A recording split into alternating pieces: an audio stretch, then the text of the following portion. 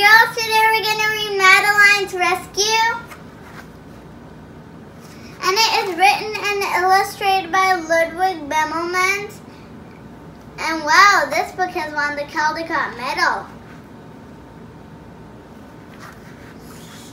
And Madeline was a girl who lived in an orphanage house in France. And she lived with about 12 other girls. And Madeline always bumped into some kind of mischief.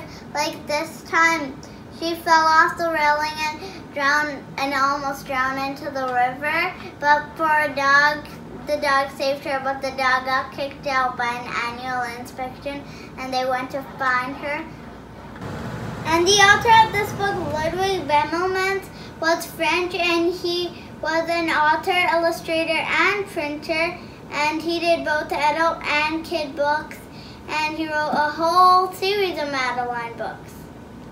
And the book Madeline's Rescue has a really good rhythm and I like it and I also like the pictures and the pictures are very interesting and this book has a lot of rhyming words and the pictures are sometimes very colorful and that's why it won the Caldecott Medal because of its art.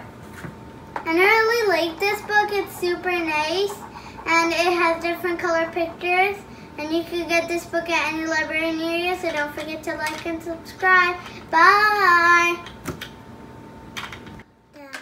Like and subscribe. Don't forget to watch this video.